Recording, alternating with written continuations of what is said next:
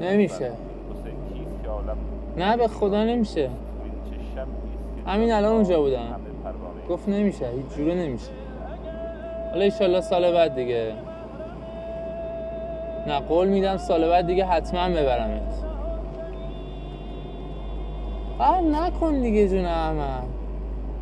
با دارم بهت میگم قول میدم. قول مردونه.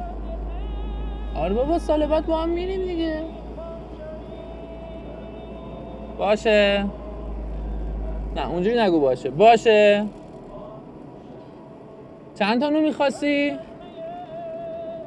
باش. کاری نری من ده دقیقه دیگه اونجا. خداحافظ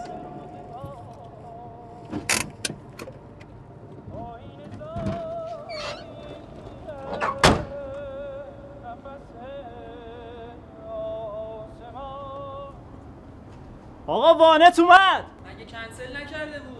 شما چند تا دیگه می‌خوای؟ ده تا شما چند تا؟ دوازده صف بالاست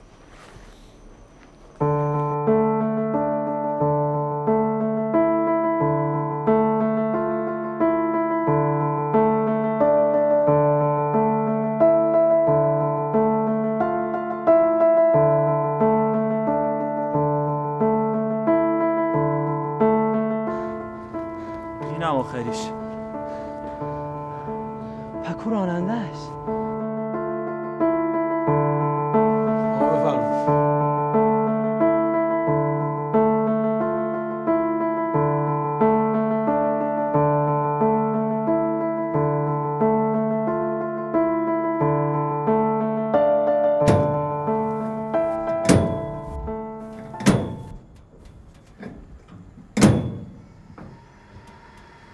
این ماشین منه آقا این قفل نداره.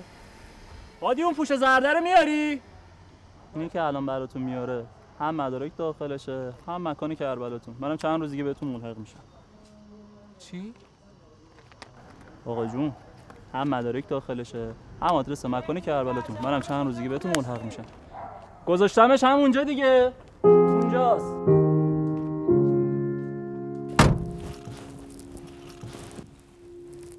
الو. وسایل تو جمع کن که آقا طلبیده